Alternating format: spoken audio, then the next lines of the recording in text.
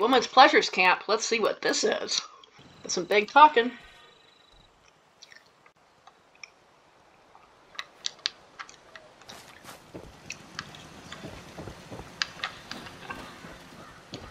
I mean, it's fine.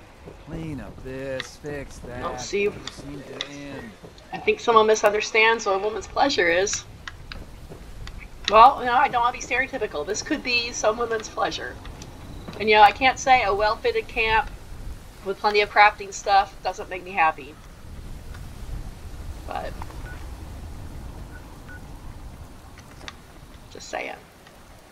Okay, I'm off to kill some Brahmins. Have a good day, Wasteland Rover.